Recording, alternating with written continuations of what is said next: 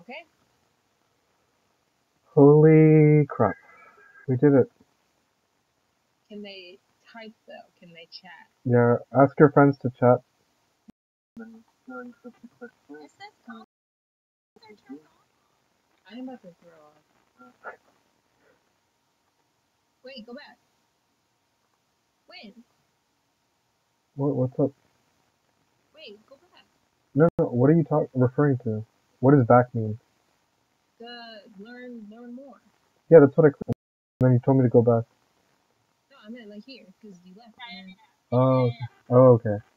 So you've selected, you may see comments, here's why. You've Oh, selected, because kids can come in. oh my god, that's it? Learn more. I'm gonna throw myself. No, it's not made for kids. No. Fucking kids out. Oh my god. This. Fuck kids. I, oh shit. This is live.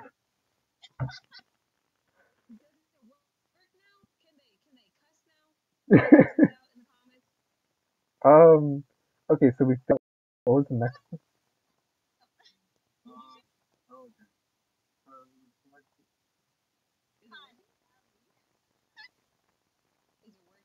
one? I'm, I'm checking, I'm checking it. What if you listen and let the kid in? Alright, comments are open. Okay. No, no, no, it's good, it's good. Now we know for sure. Like, you, this is hard to forget. You guys are doing, thanks, Allie. Thanks, Allie. Thank you, Allie. Alright, you guys are ready? Go home. Okay. Alright, we could, what do you want to do?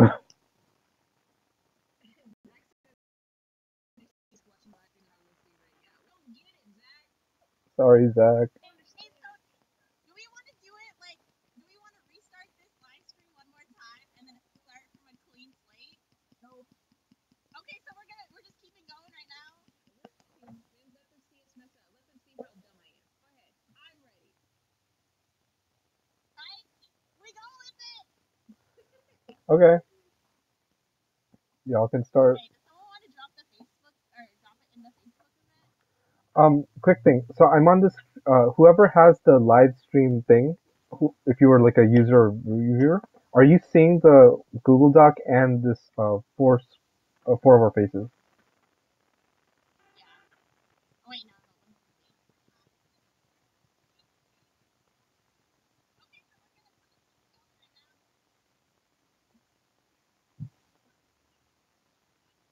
It just it just it shows you. Well, it's still loading. It's like it's like two minutes behind us right now. Okay, yeah, it sees it. It sees it. Okay, perfect. So when was the start? Oh, also on your end, um, if you guys have those live streams uh muted, or the audio is gonna cross over into ours. Yeah, it's muted. Hi, Zach.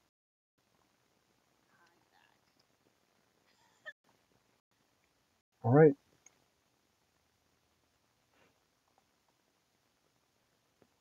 Ready whenever you all are. It's ready. It's going.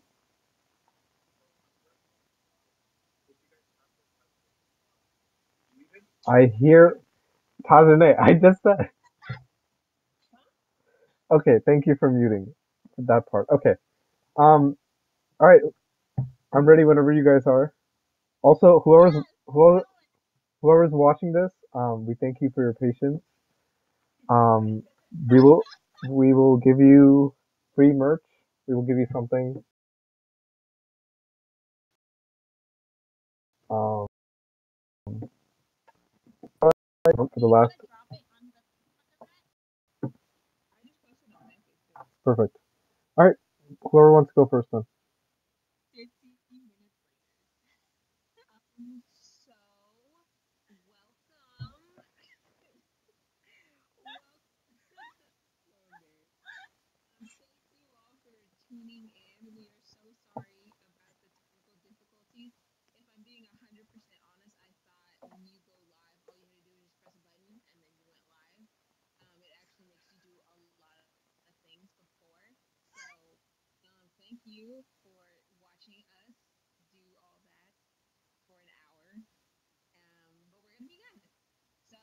do know me, I'm Prajane. Um, I live in Wichita, Kansas. I'm a senior at Wichita State University, and I'm studying ethnic studies with a minor in communication. Uh, pronouns she, her, hers. So we're just, yeah, that's everything. So we're just gonna go that down um, and introduce ourselves. And then we'll jump into it.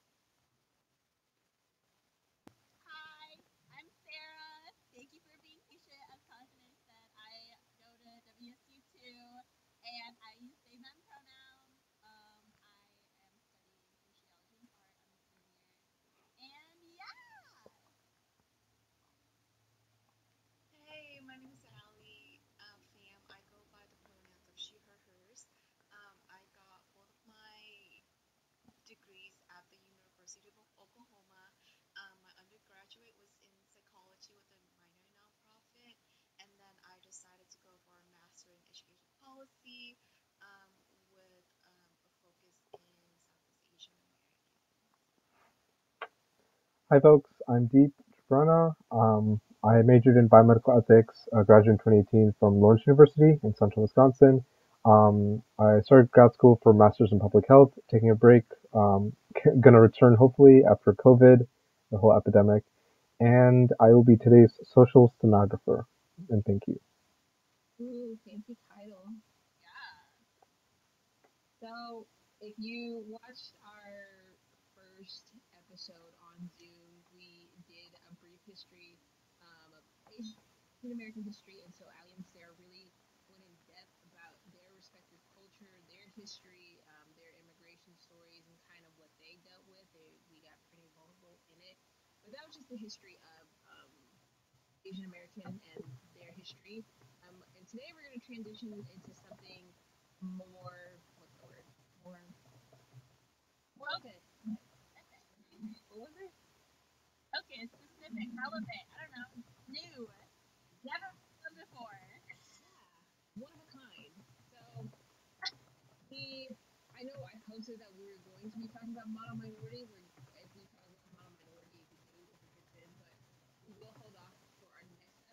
model minority, when we were meeting, um, I I, did. I brought up the article that was circulating um, about what was it? China kind of banning African immigrants in different in and kind of we discussed about um, anti-blackness as a, on a global scale.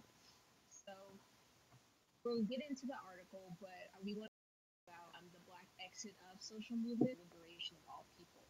So that's why I'm here.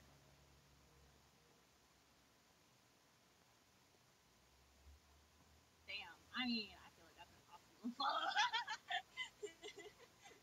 um, I mean, I think, yeah, that honestly, it's so frustrating and like totally understandable um, that a lot of the black community does not want to participate in solidarity work because I get it. Like, anti-blackness is so rampant in a lot of, I mean, just everywhere in non-black communities, it's just like such a good aspect of white supremacy. Um, so I think I really am trying to be a part of the work of like empowering and also trying to get others on board in allying and advocating for black movements because honestly in the past in history um, that's I mean that's the blueprint for so like pretty much a lot of activism work and it's just really like going to be a lot of the non-black community's job to join in on that and make sure that we're um, like acknowledge that we're giving the work and acknowledging the work to black communities because a lot of times like it's something stolen. So um, yes, trying to you know motivate other people to join that work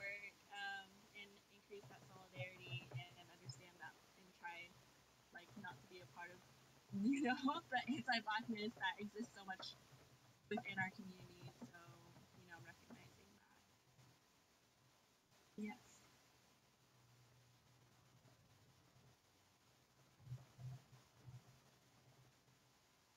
Um, so for me, I think that um, this is what kind of like a start of what Black and Asian solidarity movement looked like. And so for me, I love like learning and unlearning as well. Um, in my graduate school, I did a lot of studying um, over like model minority, um, the Vietnam War, um, and so it's just a really good space. And I think this is a good space, safe space um, for at least for me to express, you know, like the going on currently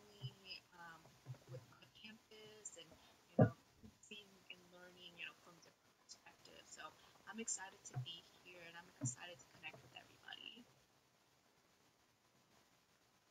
Um, I'm kind of glad you brought up this because specifically for my campus, there is like talks of solidarity, um, kinda, but that's all it really kind of comes down to is just talks. And there's only so much we can do as students as well, um, because we're there for an education, and so there's only so much we can unpack in our four years, and so much we can do.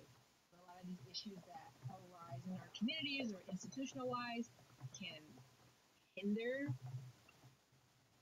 a lot of white supremacy in predominantly white institutions. I really didn't want to go there, but now we are. A lot of white supremacy in these predominantly white institutions call for solidarity of some kind.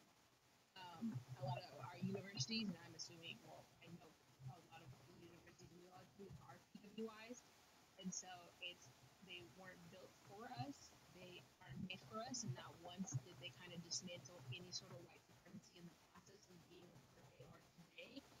And so because of that, we there's some sort of solidarity that has to be. You know, that's why we see the rise of black student unions and Asian student conferences. There's some sort of there's some sort of solidarity that's already built. Um, the question is, how can we create that cross solidarity between our communities? Can we do that? Is it possible? Um, should we even do it? In my opinion, yeah, we should, but that's a different story.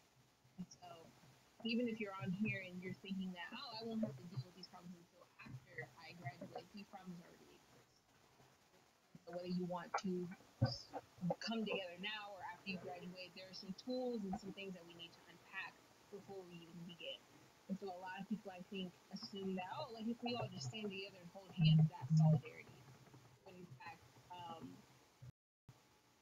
I said this in the last episode, we kind of have to unpack a lot of things. And we kind of have to have these ugly conversations, um, or nothing in my opinion. And so we have to kind of look back at the history. We're going to dive into our second topic, which is going to be the history of activism.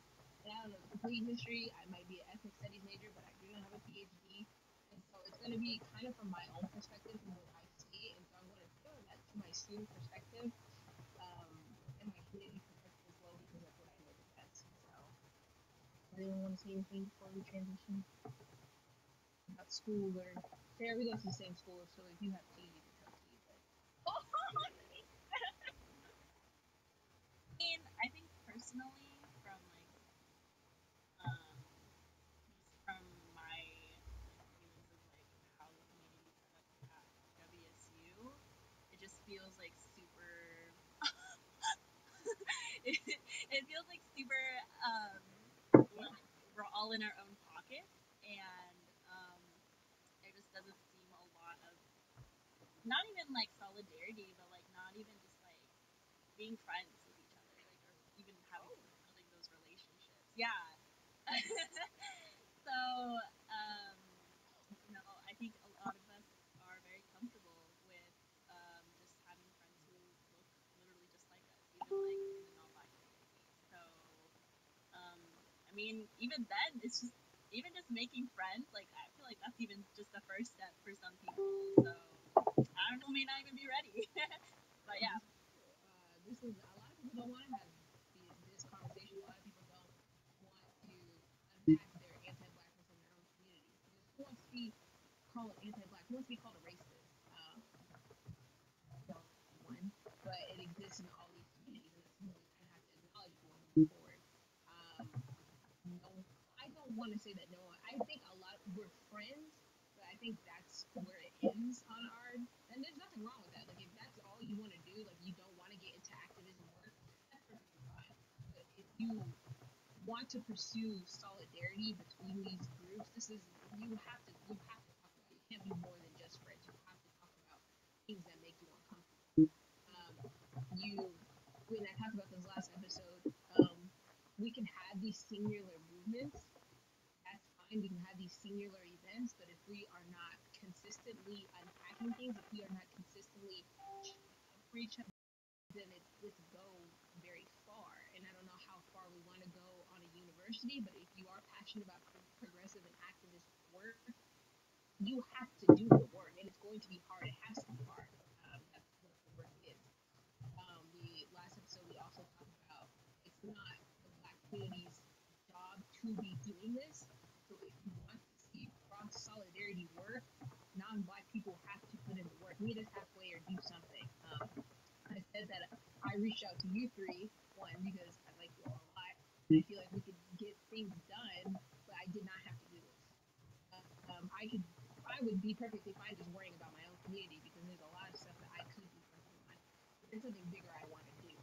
But I don't think if you are doing activist work, I don't think it's fair for you to show up and be like, all right, black people, what are you gonna do? Because we don't have to do. I don't want to say we don't have to, but it's not our job to do everything.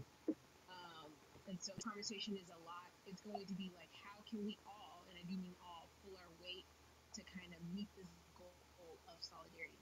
Um, and so yeah, we're gonna be telling each other what to do or what we would like to see in these conversations. So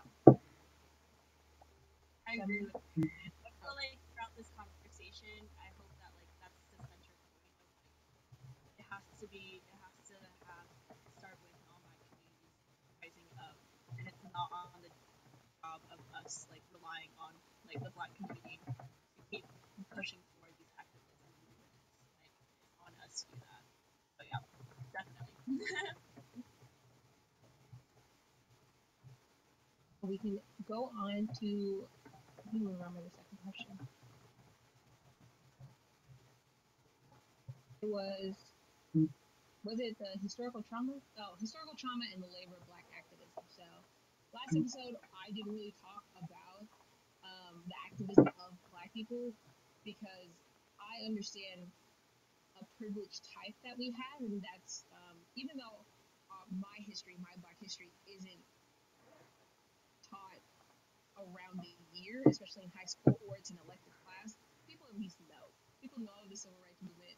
Um, people can at least name more than Martin Luther King in the civil rights movement, and I guess that's a win, I guess, if you like. Um, and so last episode we took time to hear the personal stories and personal histories of Asian Americans from Sarah and Allie.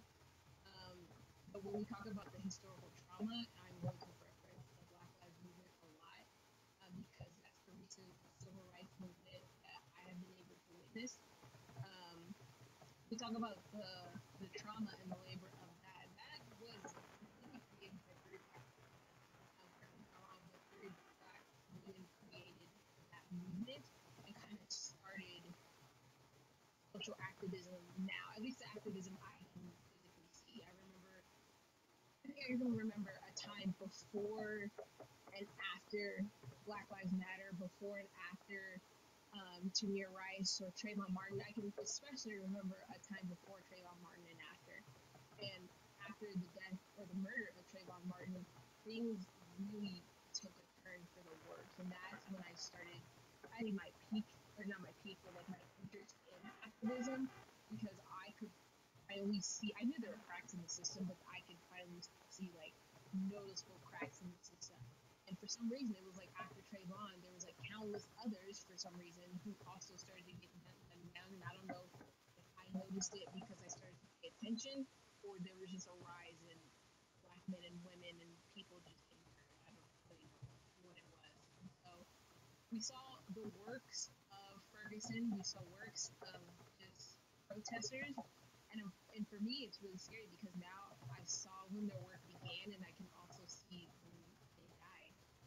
When the protesters of Ferguson were killed or just in the bed.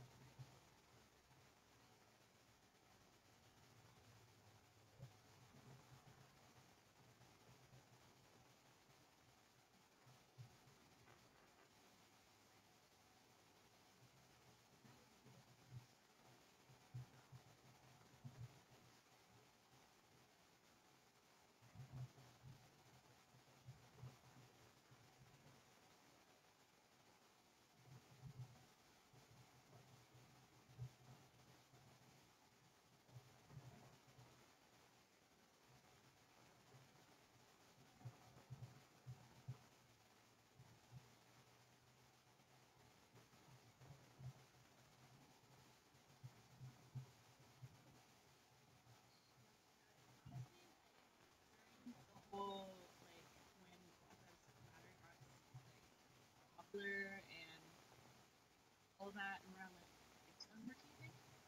Um, it was really hard to even hear like any Asian who even understood what was going on. Like, and I don't know, it just kind of frustrated me. Like, I think even recently, even up to now, like there's this time when I was wearing like a shirt and um, it had a lot of like last names from um, black men and women who had died because of police It just had their last names on it, like no other context, you know. And I was wearing it around some Asian friends, and they were like, "What is that?" And it had like your rise, um, Kevon Mark, all their last names. So like pretty like you know sensationalized like mess, and like not they didn't know they hadn't really recognize them. So um, I don't know. It just really is not that lack of understanding or like not even like willingness to even get to know what the movement's about.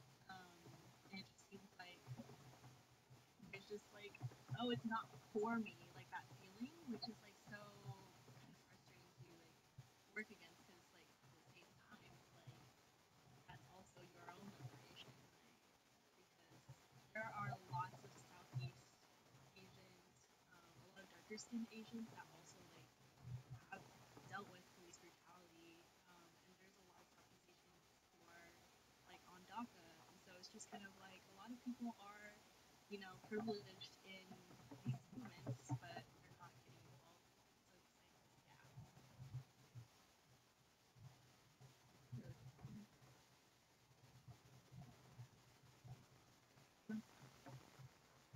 I I don't know. Oh, uh, so something that stuck out with you that what you said. So you're, I don't know. I guess it's hard me to believe that there are people who don't care unless like you are a marginalized identity, like you don't have to think, even though like like you said, like this is the liberation of all black people. Like if you liberate black people, you liberate everybody. Because white supremacy is rooted in anti-blackness, you white supremacy, you could dismantle anti anti-blackness in a sense. So once you liberate black people, once black people are free, you therefore liberated everybody because everything is rooted in the history. Not everything, the majority of things are rooted in the history of black people. So how do we how do we bridge that? How do we make people understand that this this issue is also your issue, no matter what it is, even if it's just a group of black people. Like this issue affects everybody. Um, I think what's interesting, like the current situation with, with so like the first thing when I was, you know, thinking about the um, incident of McDonald's in China and um, African Americans being banned from going into McDonald's um, because they're being associated with COVID-19, and then seeing here in America about you know like Asian Americans being discriminated, and when all of this was starting, again like being tied back to COVID and you know our president saying or labeling as the Chinese virus and everything, and me like to be able to if there's a connection like somewhere there that kind of piques my interest and curiosity on, you know, like we see that it's happening um, first Asian Americans, you know, COVID nineteen, and then now in China there's that incident that's happening, and so there's a lot of issues um, that I see. Like one, it's like you know, white supremacy. Two, is racial racism, and then you know there's also if we want to dig deeper, you know, into blackness and colorism. Um, and so I know I'm kind of going a bit off. Um, um, right? That's this topic anyway, so you're good. yeah. Um, and so I like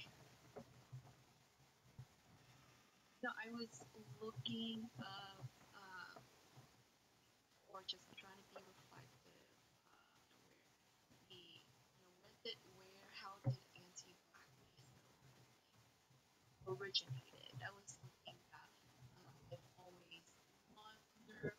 Was it, you know, we're going all the way back in time? Uh, was this an influence of, you know, colon colonization? um, you know, the European was, was that where it start was that how it started, or is there you know more than that in terms of you know we're talking about colorism, you know there's that association, uh, you know being pale, uh, you're automatically associated in Asia, um, that you're there's you know your high status, you're well off, and people who were tan or darker skin color, uh, they're considering a lower status um, socioeconomically because you know people who are tan they work in the field in the sun, and so but there's that, and um, you know, I'm trying to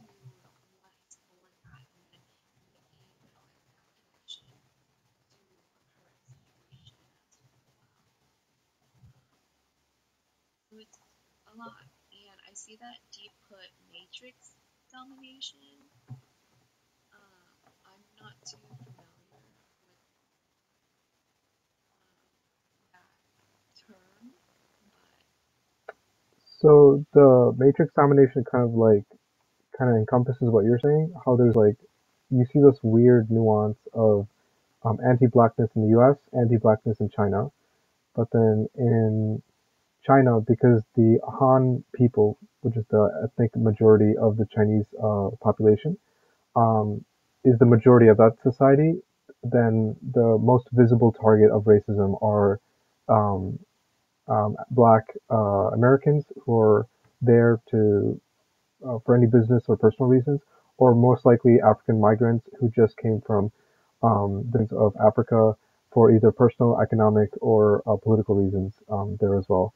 So what happens in the mixture of all this is if you look at specific in- intersectional identities, for example, if you're a um, black, a queer woman um, in the United States, for instance, you have to deal with white supremacy uh, on the spectrum of race. On the spectrum of LGBTQ issues, you have to deal with heteronormativity. And on the spectrum of gender identity, um, you have to deal with patriarchy. So, in a weird manifestation, all three power structures kind of come together to undermine your existence and your dignity. Um, and that's kind of lost in the fold because we may talk about intersectionality, which was actually used to catch a loophole in legal structures because um, we had something called protected classes, where if you're a protected class based on a specific marginalized identity, like um, the African American community or um, women in general, um, black women were not being counted because there wasn't a specific category that you could fit in. Um, so Kimberlé Crenshaw, when she came up with the term, she noticed that when there were there were some white male um, or even just folks owning businesses that said, "Hey, we have black men, so we can't be racist. We have women, so we can't be sexist." But if black women were being barred, um, you had enough of those two quotas that the business was setting in their terms, not our terms um, that that loophole allowed for that discrimination to continue. So that's why even when we talk about intersectionality, um, we can't fully encompass it because even within our communities, like you guys mentioned, we're not talking about those issues like homo- homophobia in Black and Brown communities or um, classism in uh, Black and Brown communities as well. Uh, so that's what Matrix Domination was trying to get at. Thank you. Wow.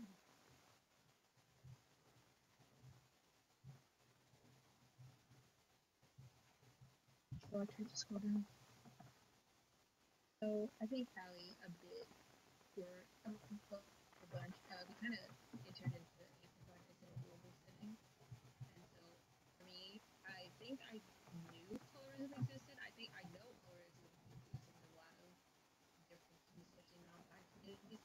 I just didn't know what that meant, and so I appreciate talking about what colorism in Asia, especially I guess it makes sense knowing that like if you're tan working outside, that kind of ties into classism. But that's something I didn't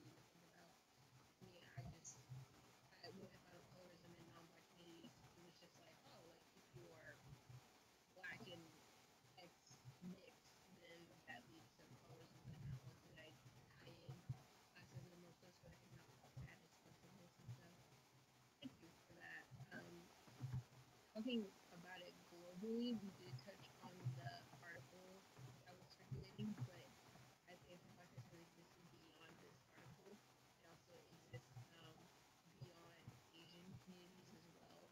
Um, it happens in the Asian community. Um, it's something that I, you guys can touch on this, but I don't really understand. I understand anyways. The whitening cream uh, that kind of like brightens your skin or whatever. I don't know.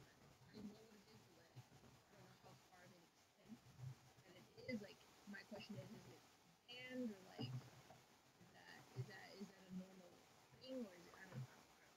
I know colorism exists community, and I can touch on that. It's like the light skin versus dark skin fight that we have like every two weeks on Twitter or whatever.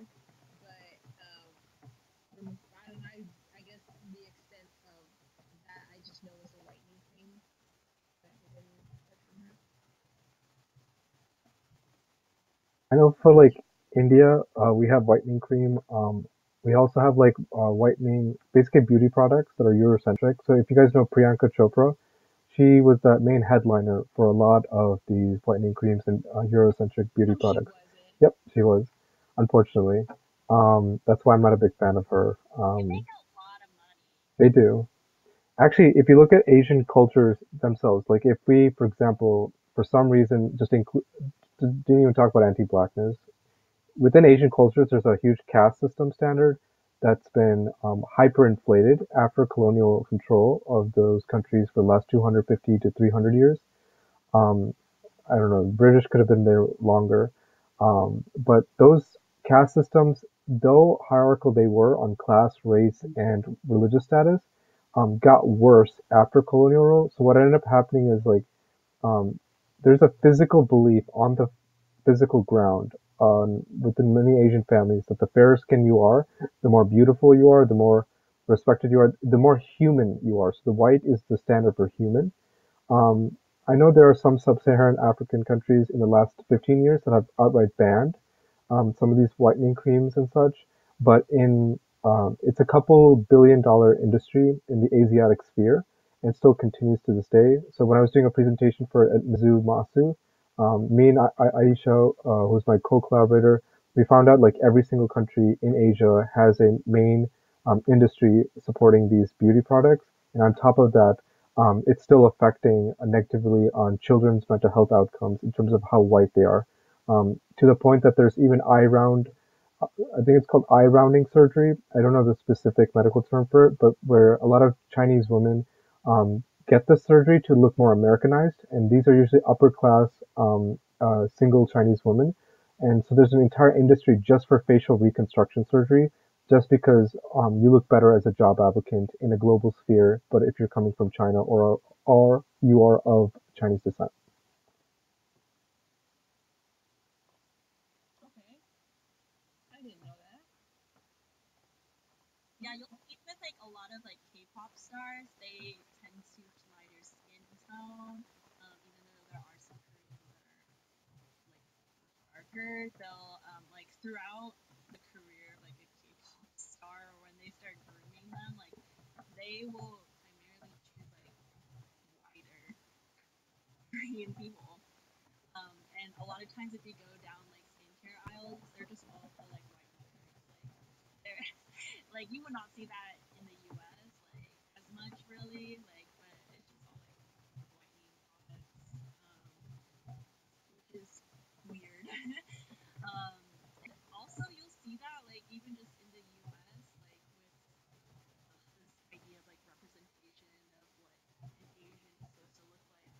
It'll most likely almost always be an East Asian. Like you'll never or lighter skinned Asian. You'll never really think of like this dominant idea of like there's so many different like shades of Asian and like there's brown Asians, there's people from Southeast South Asian, but it's rarely like represented either. So colorism is very real.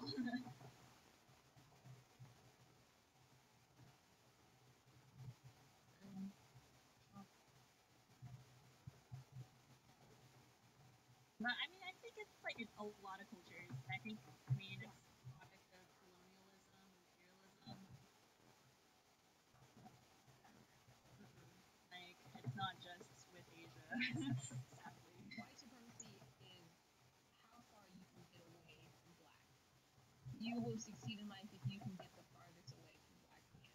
It's something I've noticed. While also profiting off of stealing black culture. I just was about to say that. I was about to say, um, so there apparently skin whitening products is a really big thing, but I know you guys have seen like white, white, not just white, white women blackfishing. If you don't know what blackfishing is, I will explain it. Blackfishing is where you put makeup or tan, tan or whatever, you do whatever to your skin to make yourself look racially ambiguous or as close to white or the white skin. So it's not blackfishing where you turn yourself into a dark skinned woman because uh, according to colonialism white supremacy, being dark skinned is not attractive. But what is dark skin or what is what is attractive is being light skinned or mixed because you are racially ambiguous but you are kind of mixed with white. Just appealing with some of the chara- characteristics of being light skinned. So like curly hair, tan, not dark skin, so light tan, you know, a little peanut butter color or whatever. Light eyes, not bright or brown eyes or anything. So it, I don't know what kind of spin white supremacy has done, but it has people are women are white women are just having a ball with it. And so there are countless Instagram influencers who years ago, like seventh grade, were just small and white. Kylie Jenner doesn't know that too. They came from Kardashian, but they were white, like pale.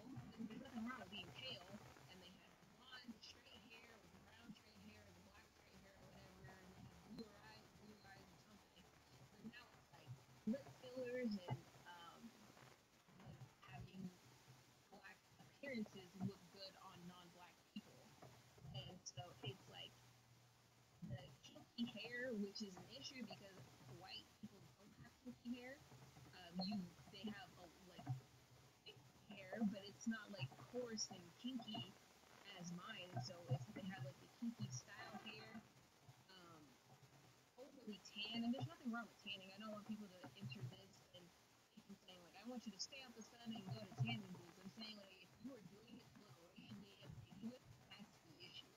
If you are doing it to look black, that's the issue. That's the problem because what the issue is is the the the features and the hair on me isn't good enough, but it's great on a white person. And the thing that bothers me is that like at any time they can wash it off for their job interview or whatever. They can mean, clock out of being black, but I have to be black for the rest of my life. And so I don't know what kind of white supremacy that is, but it's something that I don't like to witness anymore. So here, that's the issue. The issue is blackfishing.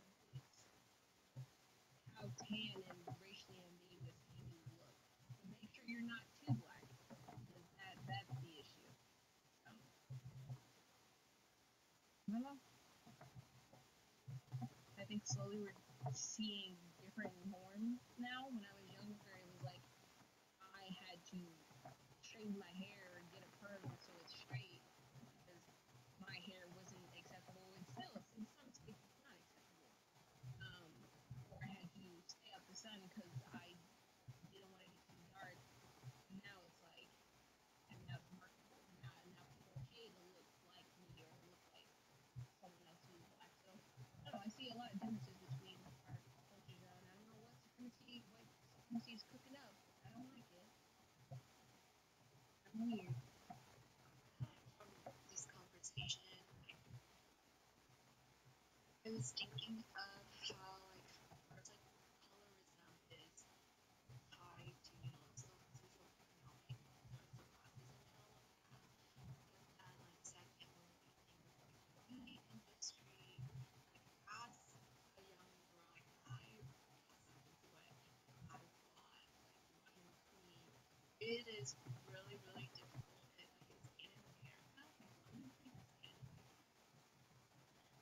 going back to Vietnam and seeing like all beauty products from shower shower gel, um, like face cream, um, everything has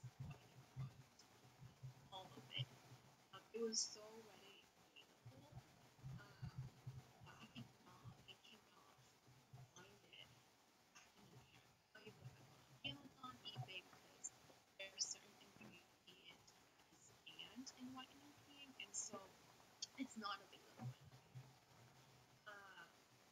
so growing up, like I did like struggle with okay, well you know like I see that pale being pale um, is a good thing, and living in America, you know, there's well you know like tan is I guess how you look sexy, that's how you look attractive, but then it's completely different in Asia.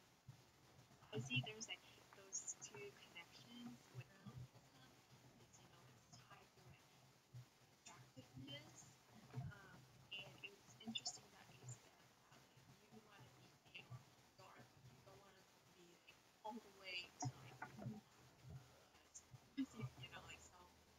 Um, but that's that was something that when I was growing up, I was struggling with because you know all these mixed signals that, that society and social media um, was sending to me, and it's still doing it right now to my younger siblings or you know, younger cousins.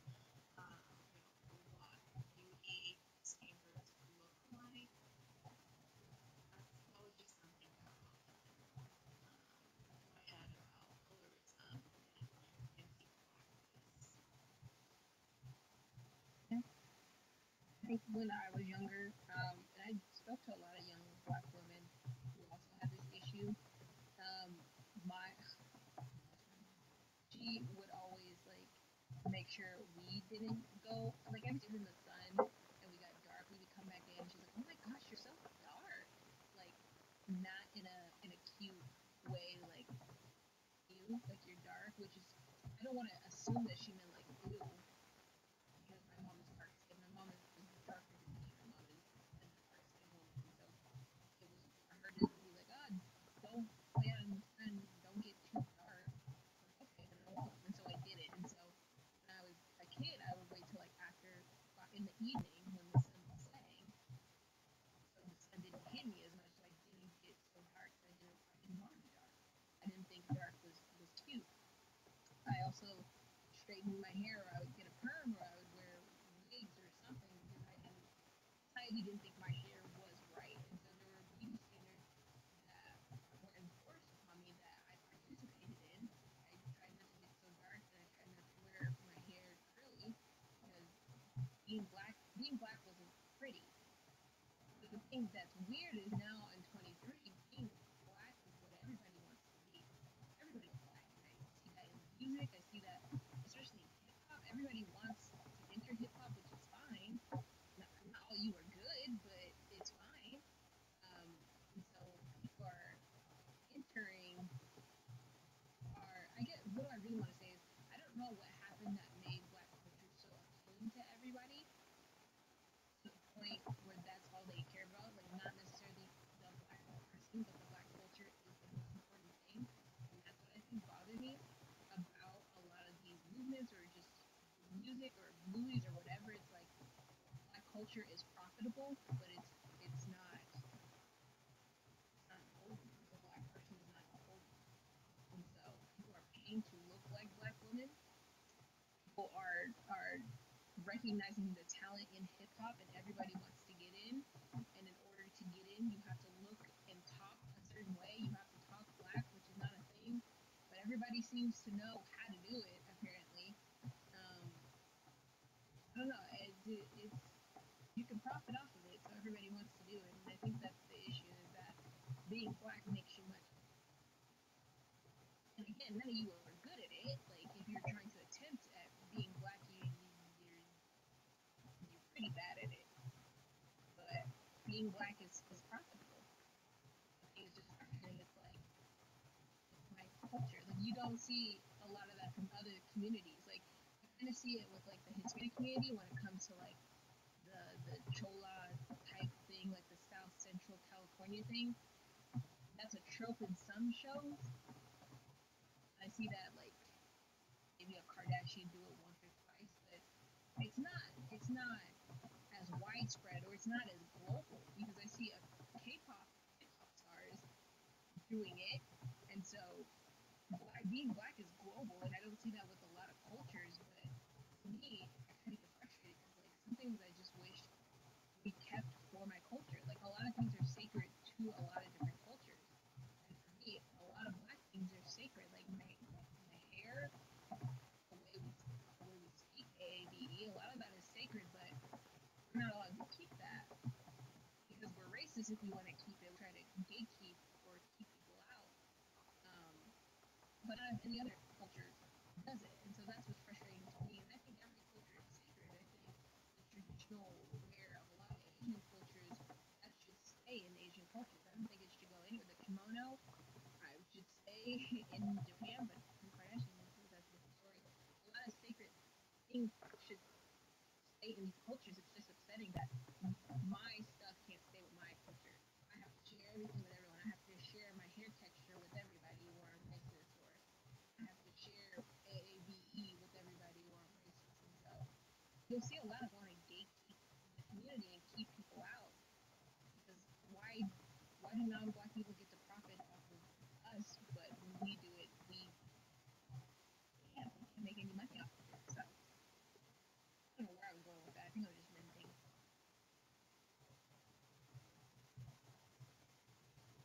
Me.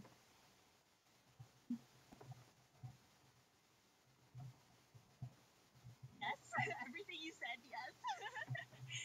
um, I think I don't know. I guess it's a question, or I don't know how to like word it, but like, do you think this has a lot to do with like how, um, a lot of times like how I don't want to say like so just in history, like slavery started and how like black people were assimilated into like the U.S. like through slavery, like um, I think in that way, like black bodies have been like basically profited off of like throughout history. So I don't know. I think that's a lot. That's a lot of the story, which is sad, and it's like our history, and like it's like gonna continue to happen because it's just like ingrained in our culture. Which is I saw that a lot with like I see that a lot with athletes. Like everybody loves the black athlete, and so the black athlete has something to say. And I saw that with Colin Kaepernick. Kaepernick, Kaepernick, Kaepernick. I don't know. I saw it with Colin. Um, he was the quarterback for the 49ers in California, and he was probably one of the first to take a knee during the national anthem. He was great. He's he, he's a good football player. Um, and people loved him. People loved when he would just shut up and play football. And I think that's what people was like people white supremacy. I don't know. Just shut up and play your sport, or shut up and rap, or shut up and do what you get paid to do. Any of this extra political, like for your rights type stuff is not going to sit with me. So we saw that with Colin. Um, as soon as he took a knee, uh, burned his stuff. But burned his, his stuff. People called for him to get taken out of games, and now he's like blackballed from the NFL. Like he really can't get on the team. Um, with hip. Anytime a black person with a platform in hip hop wants to make a statement, they like I don't want to use Kanye. I'm not gonna use Kanye. I'll use all old Kanye. Old Kanye would do it a lot. Old Kanye. Um, one time after Hurricane Katrina was on national TV with Mike Myers and looked dead at the camera and said George Bush doesn't care about black people. I thought that was hilarious. Um, and people lost it. You, people would think black people should just do one thing and that's that's the thing that paid to do. Anything other than that um, makes me uncomfortable. and Makes me uncomfortable. I think we're kind of starting to see, um, especially with hip hop, we see a lot more intersections with politics and social rights with TV or music or whatever, especially with music. Like when Beyonce did her Super Bowl performance and she did a Black Panther tribute. Oh my gosh, the whites and conservative lost their minds. it was hilarious. People were like, "How dare you put that on my TV? This is a children's show. How dare you be black in my presence?" Um, really weird. Um, and then we saw it again with like Shakira and J Lo when they did the protest. Like, how dare you put that non-American stuff on my TV? It's like when are certain, and I don't want to.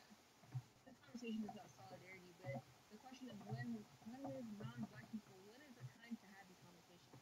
When is the time to start making progress? Because apparently everything is making you uncomfortable. Whether it's black issues in your, your non-black community, everything is making you uncomfortable. So what do you need? Whose hand do you need to hold? Like, what can we do to start having these conversations? Because it's we're we're like we're a hundred years late if we're being honest. But I don't know. That's my big question. And I don't like. People have their own movements in their own communities, but when are we going to start combining them or cross solidarity, cross solidify them, um, and start talking about being black or anything? That's the question. No, that is so true. Like even like talking about what we were talking about this week, like how some people don't feel comfortable to have this conversation yet, or like you know, and that's coming from like Asian people, like that Asian fragility, like that concept of like ah, politics not here, stay in your lane kind of thing. It's like you can't just keep like putting these conversations in like a little corner and say it's gonna go away because it's not.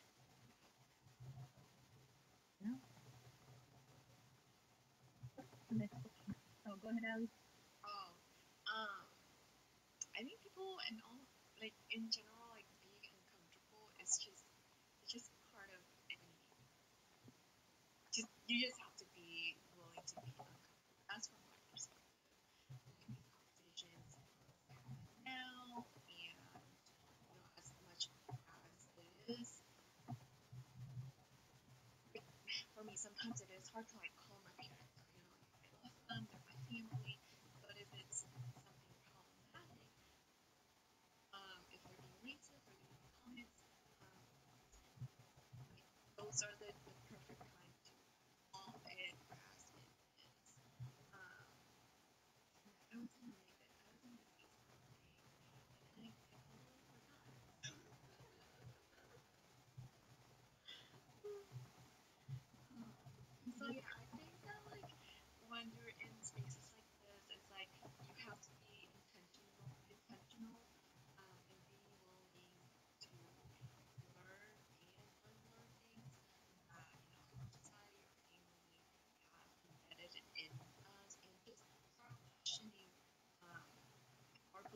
and I think that's a good place um, to start. Um, so yeah, I kind of like think what I forgot. That yeah reminded me. Like you were like saying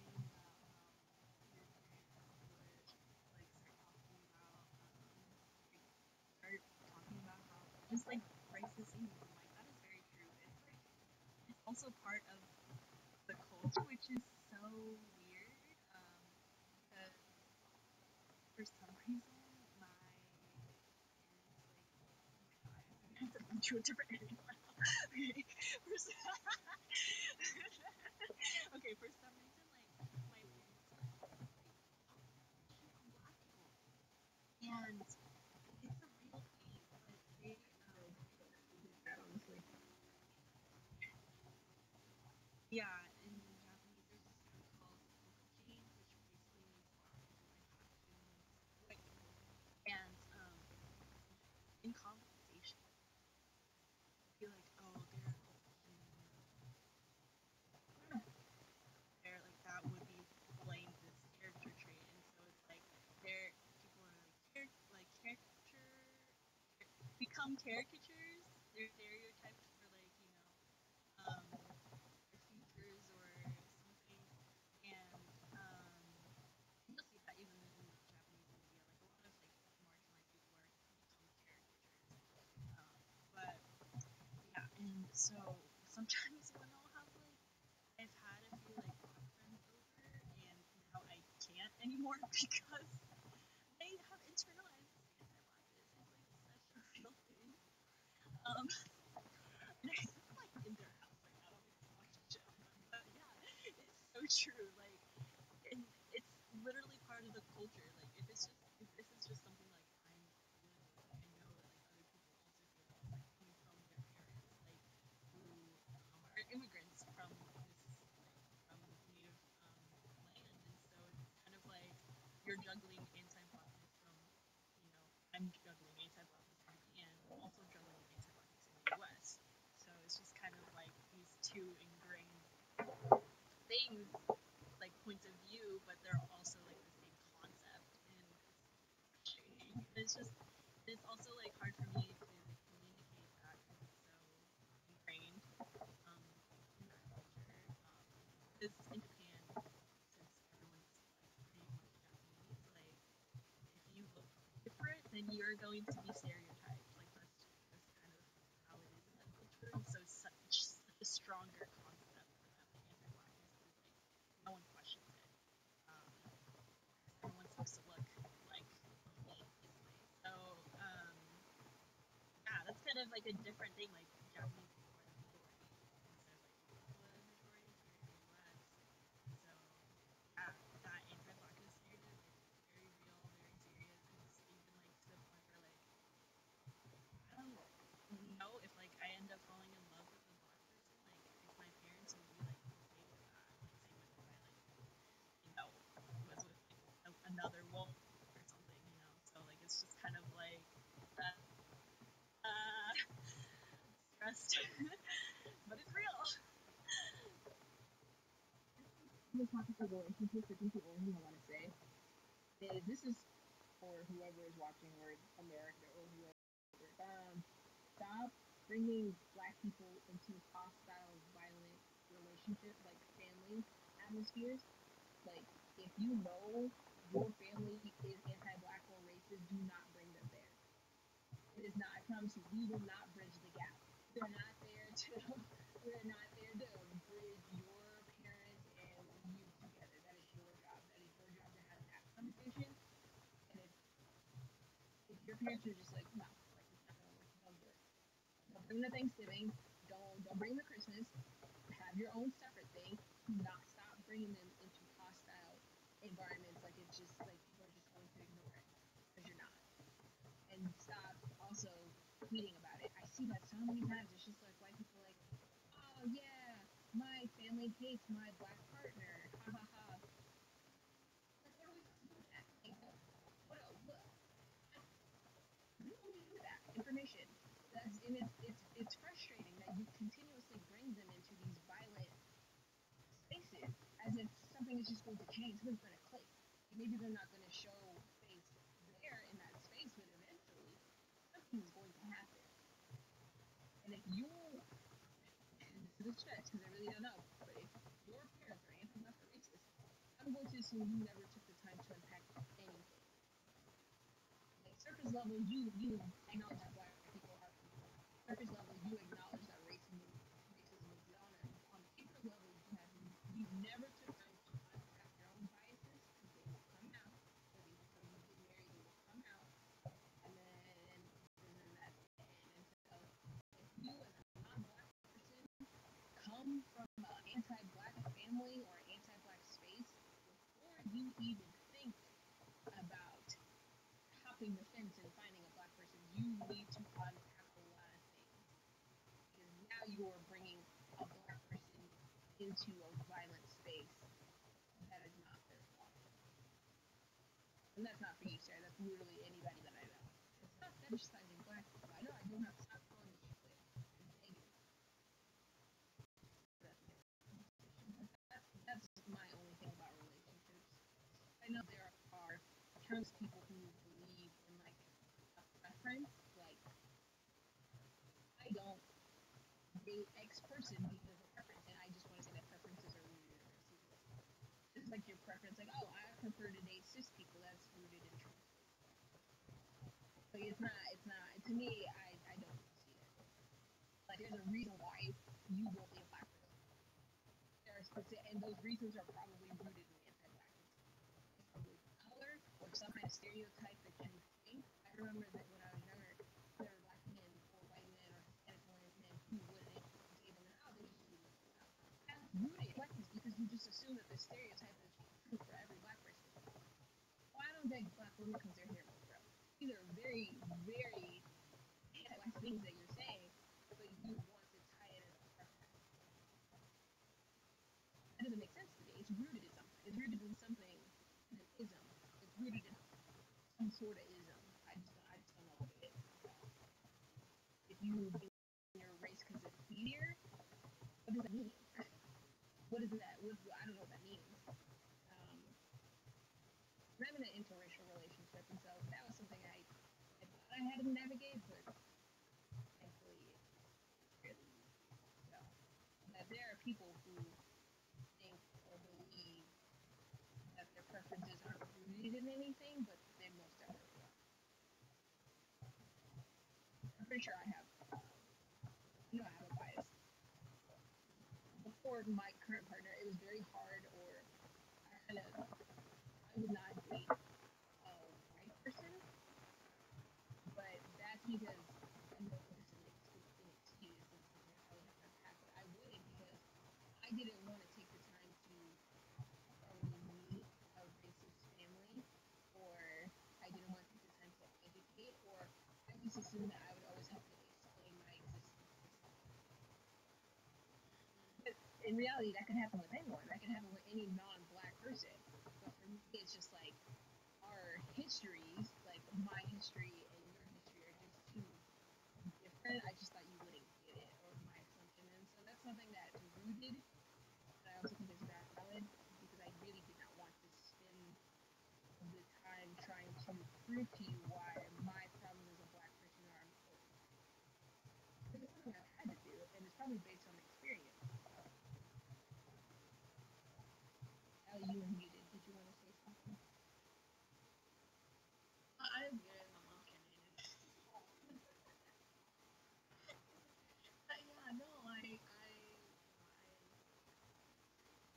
when it comes to relationship, I've dated multiple couple, and so to me, I think it's just for me, I think it depends on how willing. Um, I think relationship is just kind of different ways where I think about it dating you know, a white person to me it's like okay like how educated are you, you know, on the things that I am passionate about because if I can't sit here and call you out on things that your your assumptions, um, then that's not going to work because if you're gonna be defensive about all of this, then obviously it's not gonna work. Um, but I just wanted to circle back to, you know, when we're having uncomfortable conversations um, like this, um, one thing uh, I've recognized cultural differences with regards to um, international students. So compared to, you know, me living in America for the past 17 years and a recent international business student coming over here, there are certain things that they will not talk about. And one of them is politics, which on that aspect I can understand them only because like you know the place that we come from, um, when the government is very like they suppress um, you know the voices back in Vietnam, and so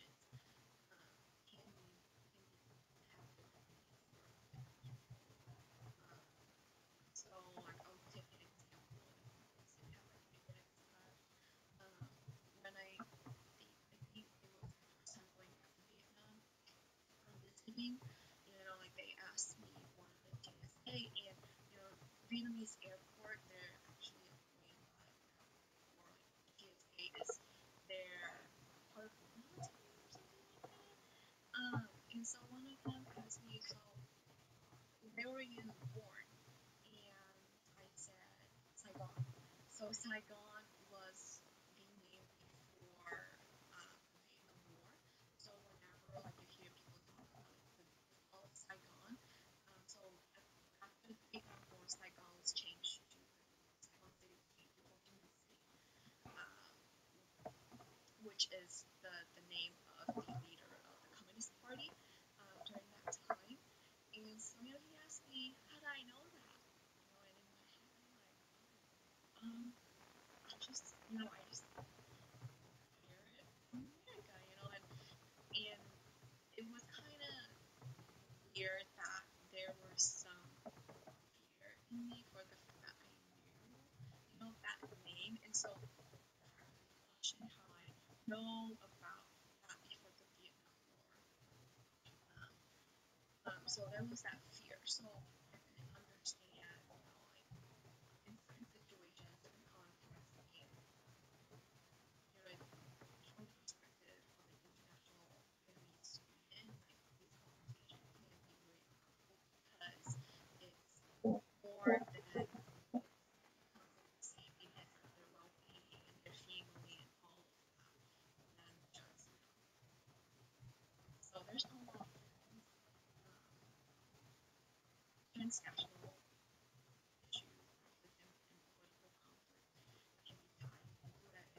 why I do recognize that I have a privilege in my voice now in America, and that most people don't get to speak up for the sake of for the safety of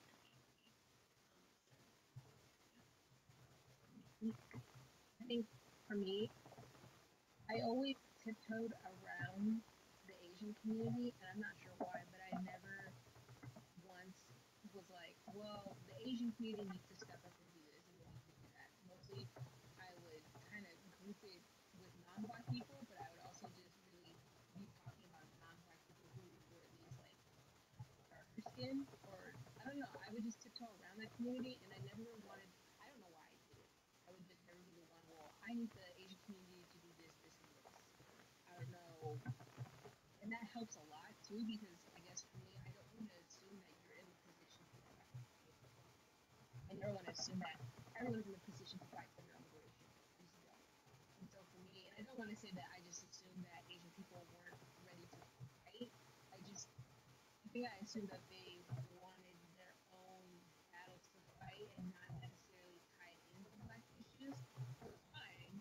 I think I'd be that are confused with our population on that side. And so it's like you want to fight, but not for black people, but you want black culture. So it was just a circle I went in, but I just never wanted to assume that everyone is ready to fight for the, the liberation of black. Yeah, and you know, it wasn't any.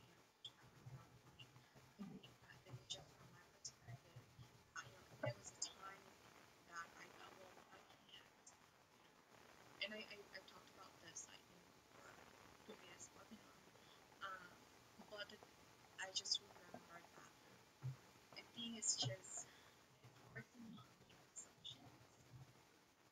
Um, and I didn't recognize that oh like you know like perhaps like some students may not be able to think that they are not because of their family background um, um, and so I just for me like personally I just think that whenever I'm speaking um, to people I try my best to um, listen to their stories, um, to unpack my assumptions. Um, and it can be hard at times, and so I just my best. Um, but I just want to recognize that um, we have a question in the comments. Do you do? Yes, we do. Do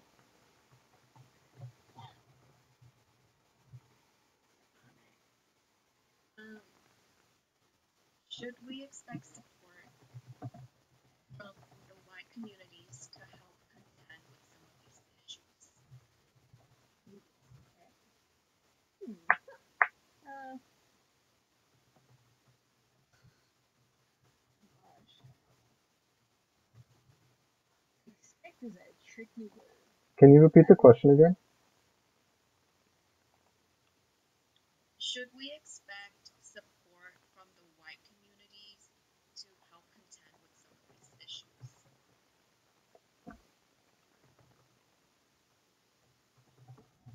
For the brain side of things, should we expect? Yeah. A lot of problems were created because of just white supremacy and colonialism. Um, And means. do I want everyone to acknowledge that these well, at the most I want people to acknowledge that systematic racism and white supremacy is a thing and it influences a lot of things in America. At the I shouldn't even say it at the most because I think people of color deserve a lot more. But at the most I expect people to understand that these these systems exist. Be honest, I sometimes get I I'm, sur- I'm still surprised to this day when white people offer support just because I've never been like my spaces when it comes to activism have mostly been people of color. Um, so I'm usually surprised. I don't know because then it ties into their identities and their uh, white white they're white people who are marginalized whether it's disabled, disability or LGBTQIA. Um, and usually those are the that help excel. I don't know.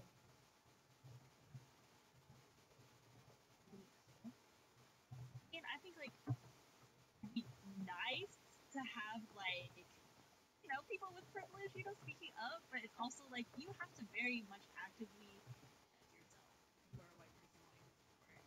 And I don't know, mm, you know, you really have to be on a level of like awareness and like recognizing that whatever space you're in, if you're trying to support people of color and dismantling white supremacy, that is literally against how you navigate the world and like how you project whiteness, you know. So it's just kind of like you have to be aware of that and be aware that like if you're talking, you're also maybe taking up the space that someone else may, you know, having as well. So it's like you know, it's it's a yes and no, I think.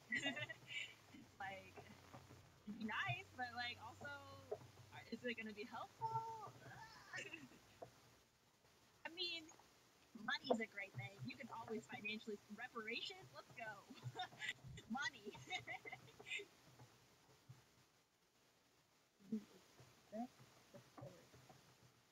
That's the a really good question. Now, a lot of times, I know if you have a Twitter, if you have a Twitter and you see like a white person who like gets it, everybody's just shocked and they're just immediately like, yes, like we support you, our white queen or whatever. It's like I know to like the black community or of color community, whenever there's a white person who just speaks out against something, like Chris Evans from like the Avengers movie. He always has something to say about why he's always woke. Like he always has something to say about supremacy or patriarchy or something about Trump. And there's just a bunch of people who were playing, like a bunch of people of color who were just like, yes, like you get it, like yes, king. And I'm just like, this is the bare minimum though. This is literally the bare. Like I appreciate you, Mr. Captain America. Like thank you. Like you have a very big platform, but this is the bare minimum any white person who speaks out on any and halfway love her, she's great, amazing actress. Look, her speaking up is bare minimum. Like these white people with big platforms, you speaking up and saying things that we already know, that's the bare minimum. It helps you have a large following of white people. That helps a lot. But again, like I, I want to say that the support helps a lot. But I also want you to know that you speaking out against these things that we already know from the experience is just the bare minimum. I think for me, um, I think that it is our responsibility to advocate for each other. So I, don't like the word expect because like I just believe that like one white supremacy was the start of our systemic oppression. So I think that everybody responsibility of course like more on if you are in a white male position. That's you know that's that was I don't know how to say it. Um, do as much as you can to like, educate yourself and um, understand when it's time to you know listen and not take up so much space. And but for me, like one of the big thing is that like really take the initiative um, to I think to be educated. Um, that's my biggest thing. I think it's a it should be should be a responsibility of everybody. Um, yeah. Um, and then I think Zach has question for me. Um, did any of the scandals at OU surrounding racist actions and comments get you more interested in lab struggles? Um, so if I, I started to, you know, question a lot of things. Um, and I mentioned this, you know, in the previous webinar when I was helping a lot out a lot with um, the Latinx community um, you know, providing more or helping um, in providing access for higher education. So I worked a lot with high school students, uh, specifically you know, in my in the high school, I, I went to Southeast High School, um, and the surrounding areas. So like I grew up seeing a lot of the disadvantages, disadvantages, um, and experience some of those as well. And so I think for me, um, once to my master and started digging deeper into um, the history of Oklahoma City, um, and saw that and read that and got educated how it really intertwined um, with the Black community as well. Um, I think I believe that's when you know I got really involved um, in wanting to learn about more about you know cross solidarity movement because our history intertwined. Um, um, and so it was just quite interesting for me. And if you want to specifically chat with me about that, I'm more than happy to. Um, but unpacking on the history of Oklahoma City and school segregation um, and white flight, so all of that really piqued my interest in how we need to have more solidarity, solidarity work um, among our communities because, you know, our history intertwines. So why aren't we working together um, to uplift one another?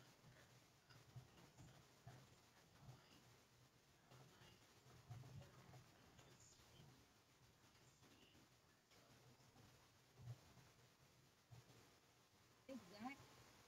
Great.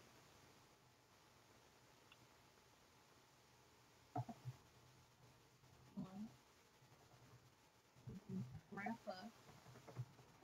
Uh, we derailed a lot, but quite honestly, we got through a lot. Like there's a lot of things that I specifically learned. And for me, going into our next episode, going into continuing trying to build this solidarity, I think I'm going to take a point from Allie um, and kind of unpack and really listen because for one, I never wanted to assume that everybody is ready for Black liberation, and so that's a lens that I need to continue to use. I don't want to assume that the Asian community is ready for it. Um, you're only ready when you start putting in the work, and then I think that's when that's when we begin. And so for me, this is eye opening because I hear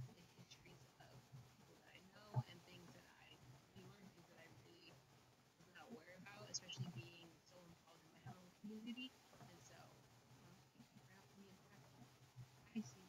And make me feel comfortable.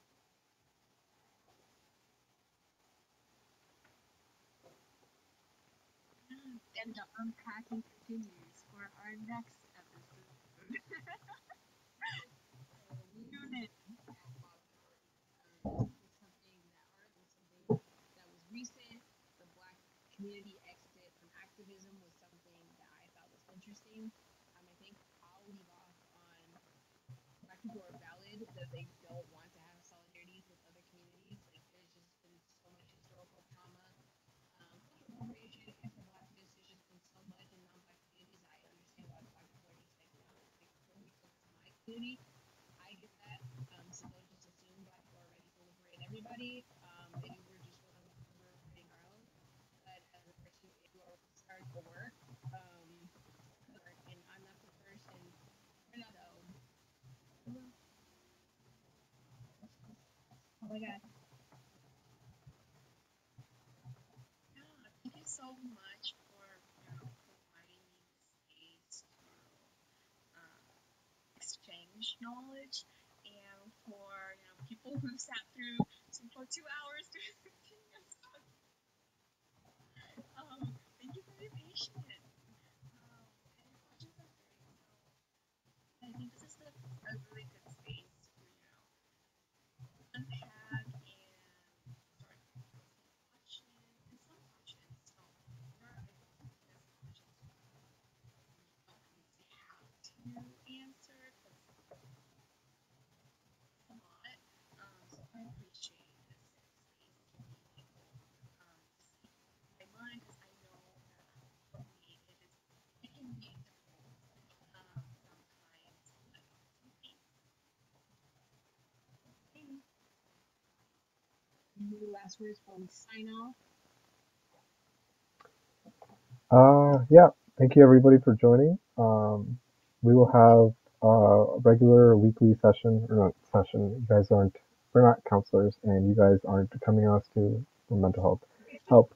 Um, but we will have weekly, uh, kind of like live YouTube sessions streamed, uh, hopefully on time. So we're looking towards 6 p.m. Um, CST uh, every Saturday moving forward. If anything changes, we'll give you updates um, through our Facebook group and multiple social media accounts that I obnoxiously made. Um, and then we will also uh, update on any uh, discussion topics to come forward. As always, uh, please like, subscribe, and comment um, our YouTube channel, um, Black and Asian Solidarity Series. Um, and also, please feel free to leave comments and feedback. So if you'd like to see some content, some coverage of an issue that um, you think would be relevant this specific intersection of um, issues, uh, let us know all the time. We will research the material, look up the content, and do our best to bring it um, center stage for everyone to uh, listen to and um, uh, hear about. But yeah, thank you again. And hopefully, I know how to hit the stop button and nothing bad will happen. Um, like me crashing my own computer and goodbye, technically.